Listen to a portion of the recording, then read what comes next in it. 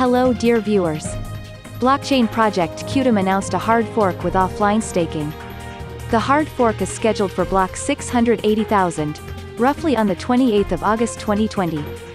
The main improvement after the hard fork is offline staking, allowing users to stake Qtum without needing to run a full Qtum node, being online. Other changes will include changes in rewards for mined blocks, Qtum Core update to 0.19.1, various bug fixes and improvements. You've watched the KCN News. See you later.